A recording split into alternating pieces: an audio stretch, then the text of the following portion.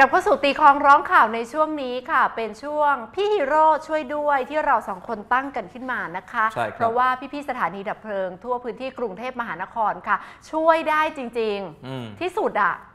ทุกเรื่อง จริงๆ ตั้งแต่เรื่องใหญ่อย่างเช่นเพลิงไหม้เออเรื่องใหญ่รองลงมาอย่างเช่น งูเข้าบ้านค่ะงูเข้ารถ หรือเรื่องที่แบบเป็นเรื่อง ที่กุญแจกระติ๋วอะ หายกุญแจตกท่อ แบตหมดสตาร์ทไม่ติด อะไรอย่างเงี้ย เปิดประตูบ้านไม่ได้ค่ะคุณอาจจะเป็นพี่เรื่องเล็กในสายตาบางคน แต่ถ้าเกิดบางคนใช่เจอครั้งแรกเช่น เฮ้ยแบตหมดทำยังไงดีอะจะไปทำงานยังไงอะเออก็นะต้องปรึกษาพี่ฮีโร่หนึ่งเพราะว่าเก้าคุณผู้หญิงบางท่านเนี่ยอาจจะไม่มีความรู้ผู้ชายก็เป็นค่ะเหรอคะค่ะ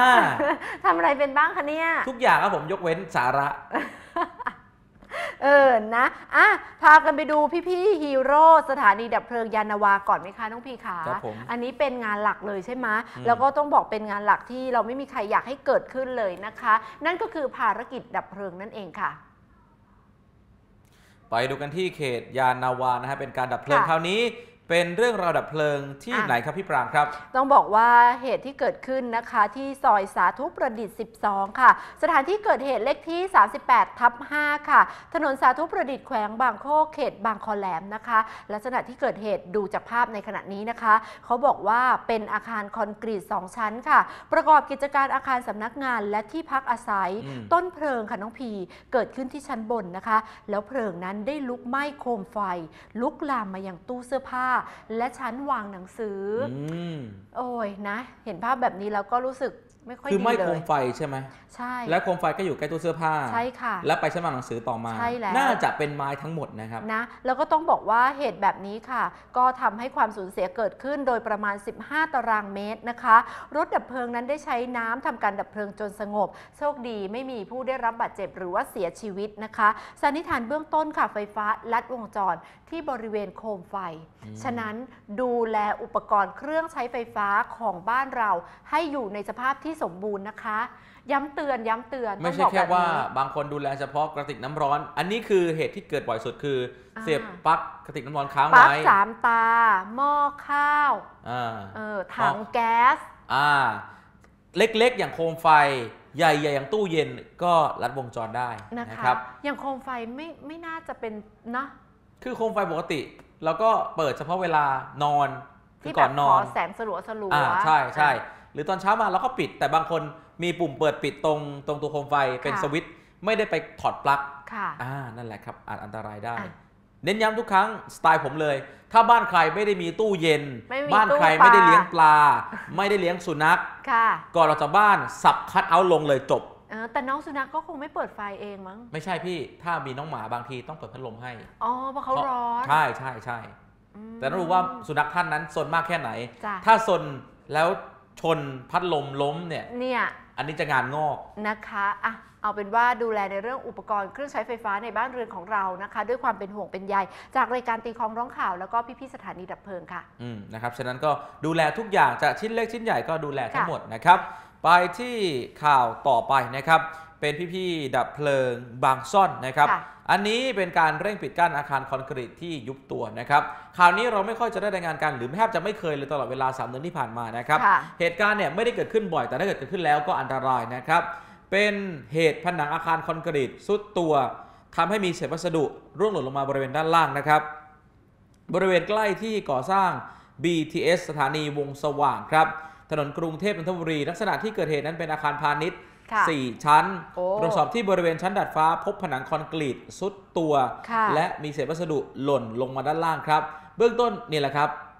ปึกหนึ่งถ้าถามว่าถ้าหล่นลงมาตรงนี้เนี่ยตายได้เลย คือโชคดีที่ไม่มีใครเดินผ่านไปมาใช่นะคะ เบื้องต้นไม่มีใครบาดเจ็บหรือว่าเสียชีวิตนะครับค่ะเจ้าหน้าที่ฮีโร่ดับเพลิงบางซ่อน ถึงที่เกิดเหตุอย่างรวดเร็วแล้วก็มีการปิดกั้นพื้นที่ดังกล่าว เพื่อป้องกันอันตรายนะครับ แล้วก็ประสานงานหน่วยงานที่เกี่ยวข้องเข้าค่ะตรวจสอบ ต้องบอกว่าอุบัติเหตุ ชื่อก็บอกแล้วว่าอุบัติเหตุเกิดขึ้นเกิดขึ้นได้ได้โดยที่เราจะไม่รู้ล่วงหไม่น้าเลยคาดคิดเลยอืมนะนะครับคะฉะนั้นเวลาเดินควรจะระมัดระวังด้วยนะครับ บางค่ะครั้งคิดว่าตึกที่มีการก่อสร้างถ้าเป็นไปได้เขากั้นแล้วค่ะเดินเลี่ยงไปอีกก็ดี เพราะถ้าเกิดร่วงหล่นลงมาแล้วลมพัดแรงหน่อย อาจจะออกนอกพื้นที่ที่เขากั้นไว้ก็ได้ ฉะนั้นก็ให้ระมัดระวังด้วย อย่าใจลอยหรืออย่าเป็นสังคมก้มหน้าจนเกินไปนะคะ ก็ต้องบอกว่าขอบคุณพี่ๆสถานีดับเพลิงบางซ่อนนะคะ อยู่ในสังกัดสำนักป้องกันและบรรเทาสาธารณภัยกรุงเทพมหานครทำทุกอย่างจริงๆนะ ป้องกันดูแลสาธารณภัยต่างๆ ที่เกิดขึ้นในพื้นที่กรุงเทพมหานครนะคะส่วนตัวนะครับผมถ้าเกิดใครมีมือถือทุกคนมีแล้วล่ะนะฮะค่ะไม่ต้องก้มหน้าตลอดเวลาพิมพ์คือบางอย่าคนเก่งเออออเดินไปได้อย่าพิสัมงพ์ไปคมได้ก้มหน้าอ่าอ่าเพราะถ้าเกิดท่านพลาดบางทีเหยียบขี้หมา อันนี้แบบเล็กเดินสะดุดหกล้ม ๆ พื้นอาจจะมี slope บ้าง หรือมีเออคอนกรีตที่มันเออมีค่ะปูนที่มันเด้งขึ้นมา สะดุดหกล้มหัวแตกมือถือตก จ้าอีกเรื่องหนึ่งหรือเดินไปชนคนอื่นเขาเดินไปมอพี่มอเตอร์ไซค์เขามาของเขาดีๆ แต่เราเดินไปชนเขา อ่าแต่มอเตอร์ไซค์ถ้าเกิดขับฟุตบาท อันนี้ผิดผิดนะผิดเลยเออนะไม่ได้มอเตอร์ไซค์ไม่ได้ขับได้บนถนนฟุตบาทจ้ะเขาห้ามขับ อืม ถ้าเกิดชนขึ้นมามอเตอร์ไซค์ผิดะะคนเดินไม่ผิดแม้ว่าจะก้มหน้ากดมือถือก็ตามทีอะเอาเป็นว่าใช้ชีวิตเราต้องระมัดระวังตัวเราเองด้วยนะคะ มีสติก่อนมีสติจะใช้ชีวิตก่ตื่อนนมาแล้วมีสสตาร์ท ติก่อน สตาร์ทที่ต้องยิ่งยิ่งมากเลยนะเอครับ อนะไปต่อกันที่พี่สถานีดับเพลิงบางซ่อนค่ะ มีการจับน้องงูงูคราวย่างด้วย นี้น้องงูก้น ก้นขบ คือผมไม่เคยเจองูประเภทนี้มาก่อน แปลกมาก บ้านนี้ต้องมีผู้สูงอายุ สังใช่เกตใช่ค่ะจากราวตรงนั้นนะนะครับผคะมเขาบอกว่าพี่ๆสถานีดับเพลิงบางซ่อนค่ะ ช่วยเหลือประชาชนจับงูนะคะ งูก้นขบความยาวประมาณ 30เซนติเมตรจิ๋วแต่แจ๋วนะคะ ตัวไม่ใหญ่มากนักเรารู้เรื่องนะงูหน่อยดีกว่าพี่ปาเอครับอเขาบอกว่างูประเภทนี้น้องพีเป็นงูที่ไม่มีพิษนะคะ แต่เข้าใจกันว่ามีพิษ เพราะว่าพฤติกรรมของเขาเนี่ยชอบชูชูชูหน้าน่ะนะแล้วเสก็นอหน้าไว้อย่างนั้นเถอะแล้วก็แผ่หาง ซึ่งปลายหางของเขาก็มีสีแดงส้มด้วยนี่แหละครับนะคะนี่คือปลายหางก็เลยทุกคนก็จะคิดว่าเขามีพิษนะคะ แต่เขาไม่มีพิษ แต่อย่างไรก็ตามค่ะ การที่เราระมัดระวังดูแลบ้านเรือนของเราให้สะอาดสะอ้านอันนี้เป็นดีที่สุด ไม่ว่าจะพิษหรือไม่พิษไม่ควรเข้ามา เขาบอกว่าคราวนี้ค่ะพี่ๆไปช่วยเหลือประชาชน ที่บ้านเลขที่ 38 ซอยวงสว่าง 25 เขตบางซื่อค่ะอืมลักษณะสีดำเมื่อมค่ะๆแล้วก็ดูปลายหางเป็นสีส้มอ่าอาจจะดูคล้ายสีของแมงมุมที่มีพิษ แต่ค่ะงูประเภทนี้ไม่มีพิษไม่มีพิษ เมื่อโดนจับจะแกล้งตาย แต่ถ้าเพื่อความปลอดภัย จ้องเขาเอาไว้และโทร 199 ให้พี่ฮีโร่จ้องมาจับไปอ้าวจ้องนี่พี่ ถ้าเพไม่ราะว่าจ้องเลยเลยไปทางอื่นแล้วไม่รู้เลยนะดี๋วเขาปูดปาดไปทางอื่นอะฟิบฟับฟุบฟับอะไรอย่างงี้ หรือตัวเขาเล็กไงใช่อาจจะเข้าไปตามเขาไปเร็ซวอกต่างๆได้ ถ้าเกิดเจอตอนอาบน้ำผมว่ามีช็อกอะคือไม่ต้องโดนกัดนะ ลื่นล้มหนีวิ่งหัวแตกเออการลื่นในห้องน้ำนี่สำคัญมากนะ เพราะว่าถ้าเป็นผู้สูงอายุ ลื่นเนี่ยกระดูกท่าเป็นเหตุนำไปสู่อืมการที่จะบาดเจ็บอัอมพาื่ตนได้ๆใช่ใช่หรือเสียชีวิตก็ได้อืมนะครับค่ะก็บ้านนี้ดูแล้วมีผู้สูงอายุด้วยนะดูจากราวเหล็กกั้นแล้วก็แต่โชดูคแลดีให้ดีค่ะขึ้นไม่มีใครเป็นอะไรเนาะอืมนะครับมาปิดท้ายกันที่ดับเพลิงย่อยสุขุมวิทก่อนค่ะนะครับ เป็นการกำจัดรังต่อไปดูภาพนี้กันเลยนะครับ เป็นต่อแตนนะ ไม่ใช่ต่อฮอร์โมนนะครับผมไอ้ยะนะครับ ดับเพลิงย่อยสุขุมวิทครับช่วยเหลือพี่น้องกำจัดรังต่อมาทีเดียว 2 รังเลยนะฮะ ขนาดเส้นผ่านศูนย์กลาง 40 เซนและก็ 20 เซนตามลำดับครับ อยู่ที่บริเวณของอาคารไอแมนชั่นซอยอนุช46 แขวงสุขุมวิทค่ะ77เอ่อขอไปครับ แขวงสวนหลวง เขตสวนหลวง บริเวณถนนสุขุมวิท 77 นะครับ ส่วนใหญ่เวลากำจัดรังต่อแตนเนี่ยจะใช้เวลากลางคืนนะครับอืมส่วนใหญ่นะ เพราะว่าถ้าไปแจ้งพี่เขามาตอนดึกเนี่ยจะเข้าใจผิดว่าล่าช้า แต่นี่คือการกำจัดที่ถูกต้อง นะคะ แต่ถ้ากลางวันก็มีเหมือนกันนะ จ้ะอันนี้ก็ต้องบอกว่าเป็นวิธีการที่พี่ๆได้รับการฝึกฝนมาเป็นอย่างดีนะถูกคะ ใครที่จะทำเองเนี่ยค่อนข้างที่จะไม่ไม่แนะนำเลยไม่แนะนำ เรียกพี่ๆฮีโร่199 ของเราดีกว่า เพราะถ้าเกิดโดนต่อยขึ้นมา บวมเจ็แล้บวก็ที่สำคัญถ้าแพ้ค่ะ เนี่ยตายถ้าเราเอาไฟไปจี้ที่สายไฟ หรืออุช็อปตกรระณ์เบิดนั่นละใช่ไม่ควรเลยทีเดียว อย่าเล่นกับค่ะไฟถ้าไม่รู้เรื่องไฟ ใช่นี่ค่ะนี่ที่สุดพูดถึงนะไฟที่จี้อะต่อนะ มาต่อกันที่พี่ๆสถานีดับเพลิงยานนาวา น้องพีขาขาพี่ๆฮีโร่หล่อมาก อีกแล้วตลอดอะช่วยน้องแมวค่ะ นั่นแมวอยู่ตรงไหนอะ เออนะ ตรงคอนกรีตใช่ไหม ใช่แล้ว เห็นก้นน้องแวบๆแวแวมๆนะคะ น้องบาดเจ็บด้วยค่ะ ต้องบอกว่าน้องแมวนั้นบาดเจ็บอยู่ที่บ้านเลขที่ 483ทับ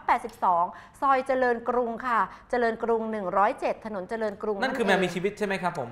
มีมันแข็งชีวิตเหมือนตายแล้วเลยนะฮะคือเขาบาดเจ็บอะแล้วก็ต้องนำตัวส่งโรงพยาบาลด้วยนะ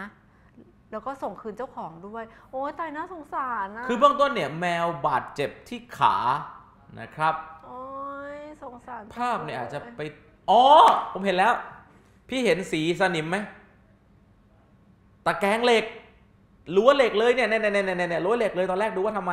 ทำไมต้องค้างเติ่งขาแมวเนี่ยไปโดนเขาเรียกว่าเหล็กที่เอาไว้กั้น นั่นแหละครับอืมพิน่าถึงบาดเจ็บที่ขา ขาน่าจะไปโดนปักโดนเกี่ยวโอ้หรือโดนทิ่มคือที่นอนหมดแรงเลยอะใช่ตอนแรกนึกว่าสตาฟตายแล้วไม่ใช่สังเกตสังเกตขาขวาของแมวสังเกตขาขวา จะเละนิดนึงหรือจะมีแผนนิดนึงไปเกี่ยวเอาเหล็กที่เขาไว้กั้นเวลาแบบกั้นขโมยนั่นแหละสังเกตสีสนิมตรงนั้น สังเกตเห็นไหมครับ น่าจะเป็นเขตก่อสร้างเก่าหรือที่เขาไม่ทำอะไรแล้ว แมวอาจจะกระโจนพลาดแล้วไปขาไปปักเข้าไปนะสงสารจังเลยขอให้หนูปลอดภัยนะคะนะครับอะอะมาสรุปภารกิจพี่ฮีโร่เมื่อวานหน่อยดีกว่าจ้ะวันจันทร์เป็นอย่างไรกันบ้างนะครับ เนื่องจากช่วงนี้ฝนตกนะครับเหตุเพลิงไหม้จึงมีน้อยหน่อยนะครับ เพลิงไหม้อาคารและสิ่งของภายในอาคาร 2 ราย ก็ที่รายงานไปทั้ง2รายนะครับค่ะไฟฟ้าและวงจร 5 รายครับ จับสัตว์เลื้อยคลาน 81 รายกำจัดรังต่อตันพึ่ง 11 ราย ช่วยเหลือสัตว์ 4 ราย รถยกลาก 1 รายค่ะอุบัติเหตุทางถนน 1 ราย และอาคารสุดตัวที่รายงานเมื่อกี้ 1 รายนะครับ ค่ะอะ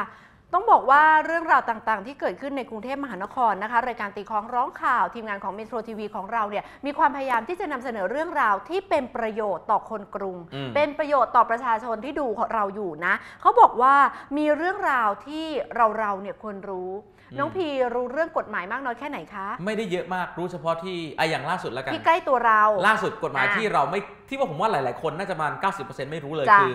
ห้ามโพสต์รูป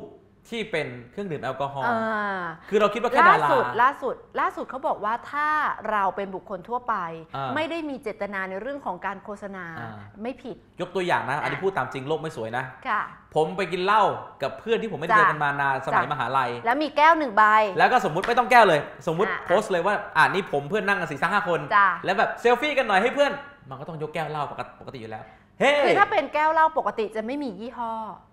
บอกไม่ได้ แค่เป็นสีเหลืองๆส้ม บางทีแก้วเหล้าที่เรามีมันมียี่ห้อพี่อ่าหรือยกตัวอย่างค่ะไปกินตามร้านอ่าลาดพร้าวซอยหนึ่งอะไรอย่างนี้จ้ะมหาไทยๆจ้ะแก้วจะมีสกรีนว่ายี่ห้ออะไรอ่าขวดก็จะมี เป็นผู้สนับสนุนของร้านนั้นอ่าอ่าเราก็ไปสี่ห้าคน เอ๊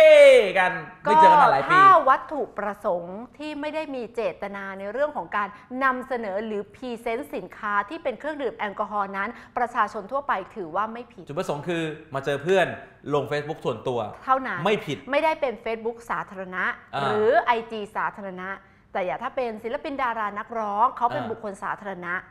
นะคะนะครับ อันนี้ก็ผมแยกกัน เขาจะมีเขาเรียกว่าเป็นเอ่อเป็นคนต้นเรียกอะไรนะ มีบุคคลแรงตัวจูองย่างใจอ่าใช่ใช่เป็นยกตัวอย่างบุคคลถ้าศิลปินสูบบุหรี่อืมอันนี้วัยรุ่นเด็ก ๆ ก็เฮ้ยพี่คนนี้สูบแล้วเท่โอ้ว่ะยพี่คนนี้เป็นไอดอลของเราแล้วบางคนยังมีถ้ความคิดแบบนี้อยู่นะ ใช่ใช่คือเด็กโดยเฉพาะช่วงนี้ค่ะเขาบอกว่าศิลปินเกาหลีเนี่ยอืมเป็นไอดอลของเด็กวัยรุ่นไทยเยอะมากอืมนะดังนั้นค่ะคุณพ่อคุณแม่เนี่ยต้องเรียนรู้ให้ทันน้องๆด้วยนะ และเกาหลี วัฒนธรรมเขาจะกินโซจู ซึ่งเป็นเหล้าค่ะอยู่แล้วดื่มแต่ถ้าเกิดคนไทยเด็ก ๆ เฮ้ยค่ะอยากกินโซจูบ้างอืมไปหาซื้อแต่กันถ้าศิลปินเกาหลีเป็นแรงจูงใจให้น้องๆเนี่ยอยากเรียนภาษาเกาหลี อันเนี้ยโอเค อยากมีความสามารถด้านการเต้นอะไรอยากร้องเพลงอ่าเต็มที่ไปเลยลูกนะคะ อันนี้โอเคนะอืมอะต้องบอกว่าเรื่องราวในเรื่องของข้อกฎหมายที่พี่มะปางบอกน้องพีไปคเมื่รัอบครู่นี้ วันนี้รายการตีคล้องร้องข่าวของเราค่ะ มีช่วงใหม่สกู๊ปกฎหมายกทม ตอนแรกเลย ใช่แล้วตอนค่ะประกันสัสังงคคมมแล้วก็มีเฮกันด้วยนะ ต้องบอกว่าเป็นเรื่องราวที่มีเฮ เพราะเขาบอกว่าในเรื่องของใครที่เป็นผู้ประกันตน หรือว่าอยู่ในสิทธิประกันสังคมอืมมีสิทธิพิเศษเพิ่มมากขึ้นมากมาย ใช่อ่าเดี๋ยวเราต้องไปติดตามกันค่ะไปดูสกู๊ปนี้กันเลยครับ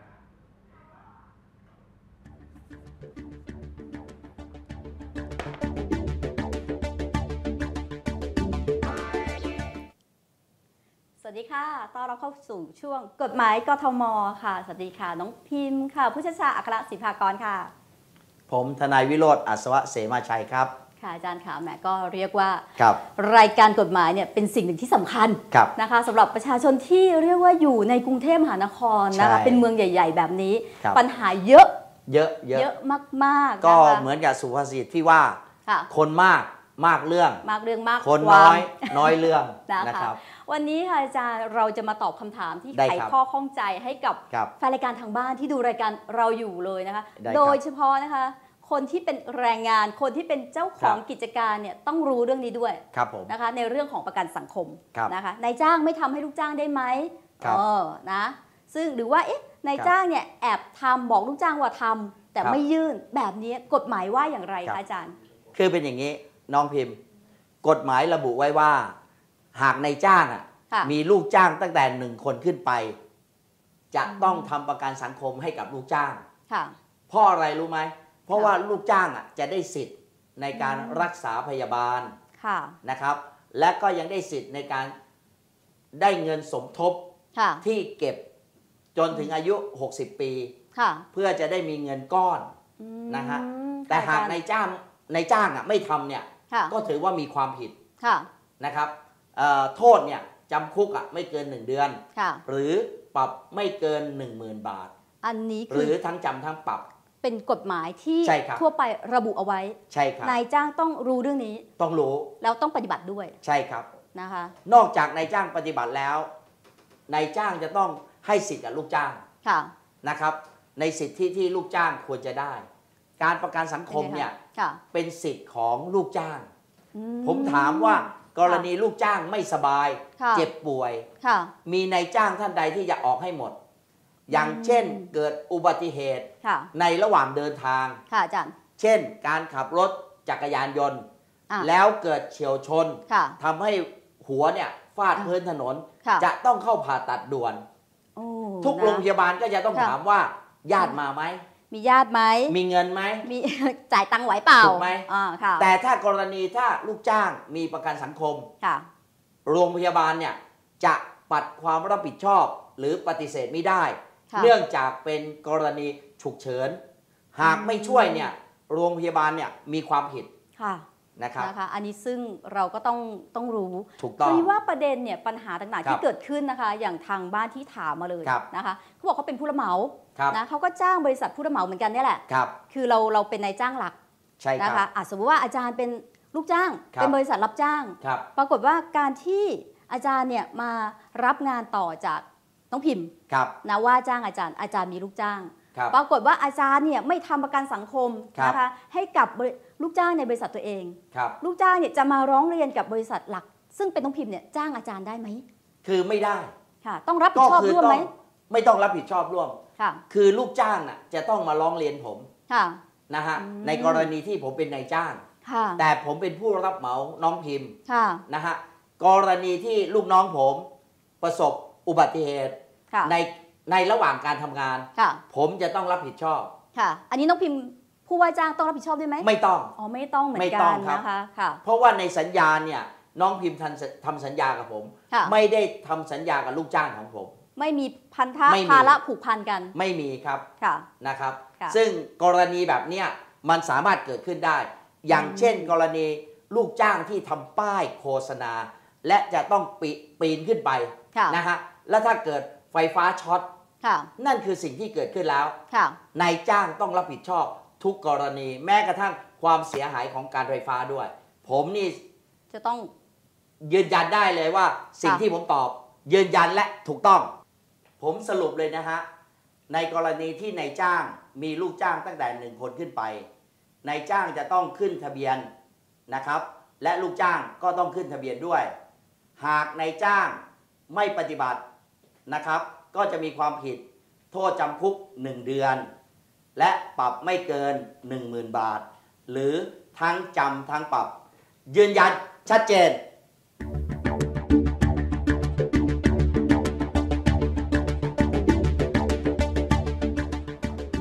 ยืนยันชัดเจนครับผม รู้เรื่องไหมคะ รู้เรื่องครับผมเออก็พี่พิมพ์นะที่พี่พิมพ์แล้วกันนะฮะอ่าอ่ากับท่านทนายท่านทนายให้ความรู้เรื่องใช่ประกันสังคม ยืนยันชัดเจนครับผม ต้องมีผมต้องชอบมีกิมมิกนี้มากเลย น่ารักต่อไปเวลามีเรื่องกฎหมายกทมยืนตอนยัน ต่อไป ยืนยันชัดเจนนะผมชอบชอบชอบชอบชอบ